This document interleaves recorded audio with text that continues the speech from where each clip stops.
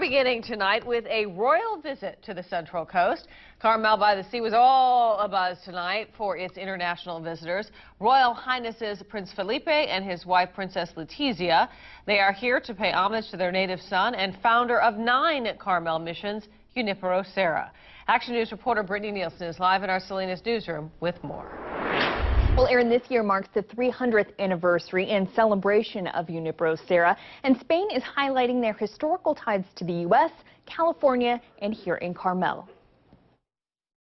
The fact that uh, one of the most important uh, men in the history of California is a Spaniard is not too well known outside California and the rest of the U.S. To strengthen those ties, the Spain's prince and princess arrived to a reception line in front of the Carmel mission.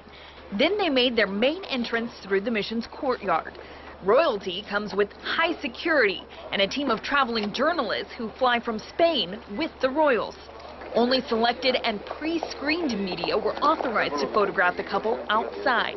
They entered the mission basilica and the small crowd followed, surrounding the royals and the burial site of Father Junipero Serra, whose final resting place is beneath the sanctuary floor.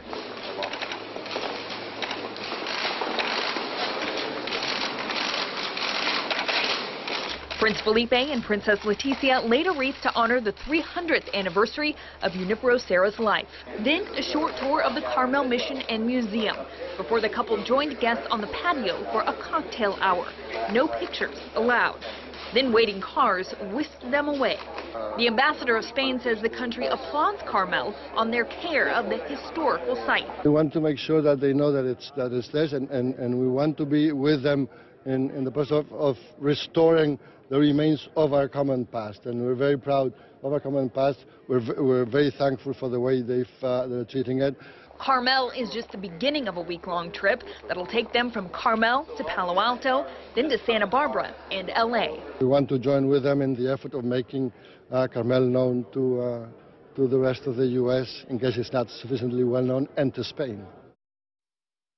And the royal couple will be meeting with business people and inventors at Stanford University tomorrow, and they'll also be meeting with business owners in Southern California on Friday. Aaron. All right. Thank you, Brittany.